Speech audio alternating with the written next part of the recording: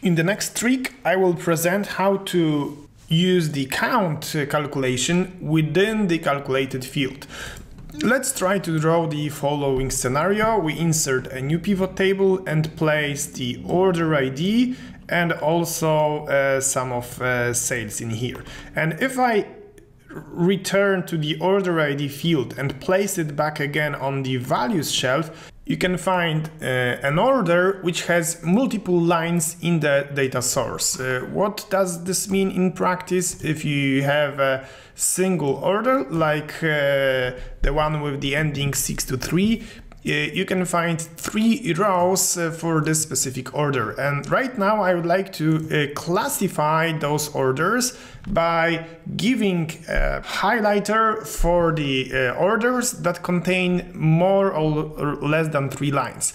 Uh, and I'm trying to do it uh, by using the calculated field, but the problem is if you use anything as the calculated field, the only possible calculation here, although we cannot see it, is summing, to sum up uh, the values. But you cannot sum up values right now, so it's not going to be possible to do the calculation. If you'll try uh, to create a calculate field just with the order ID, hoping maybe it's going to uh, calculate the sum, uh, you will get only zero values. You cannot sum up this kind of field.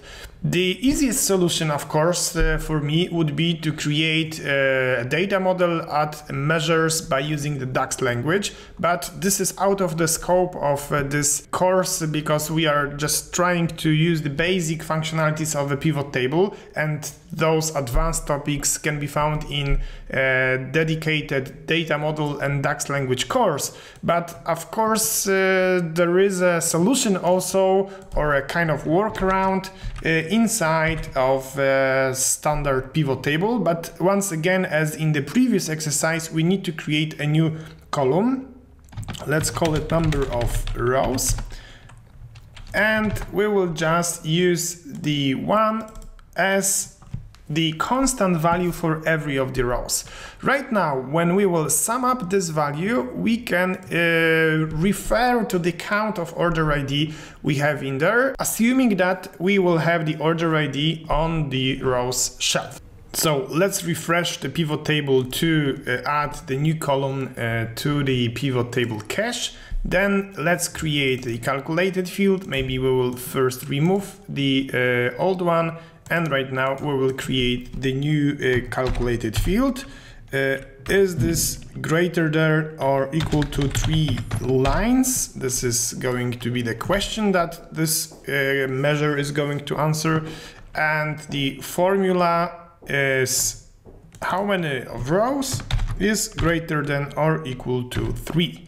After hitting OK, we get the information. If you have less than three rows, you get a zero if uh, it's fine, you get number one as the true answer to our question. And right now you could perform also some other uh, calculations, but keep in mind this kind of calculation is not going to work, of course, uh, on the grand total of your uh, pivot table.